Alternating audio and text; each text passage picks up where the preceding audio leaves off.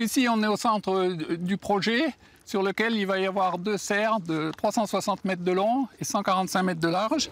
Le déboisement a commencé pour laisser place aux 8 hectares de serres à tomates.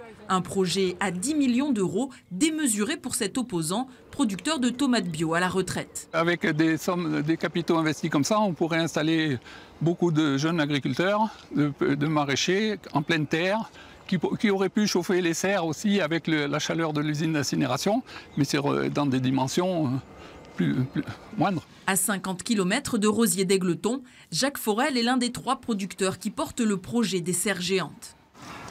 Eh bien, tout va bien. Leur objectif Produire 4 à 5 000 tonnes de tomates chaque année, à destination principalement de la grande distribution. Ce sont des serres de haute technologie, hein, elles sont de plus en plus fermées, justement pour, euh, gérer un peu les, insectes ou, autres qui peuvent rentrer de l'extérieur.